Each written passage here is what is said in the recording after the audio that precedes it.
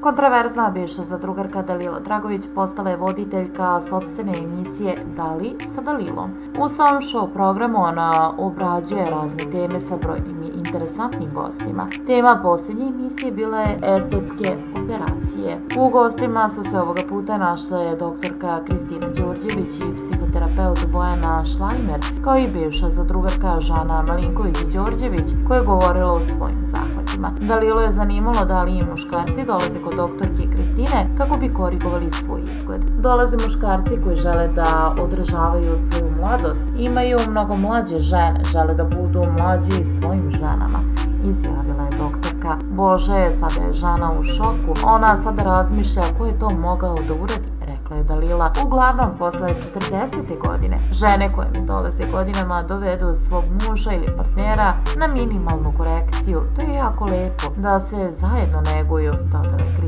Kako slatko, joj Bože Kristina, da li otišla mi je misao, na nešto si me podsjetila, ali ajde nećemo o tome, ispunjeno je rekla Dalila. Sada sam se i ja setila, dodala je kroz osmeh doktorka Kristina. Pretpostavljam da su se sagovornice prisjetile kako je Dalili i bivši suprug Dejan Dragojević pružao podršku prilikom estetskih intervencija koje je ranije imala, što je Dragojevićku poljuljalo.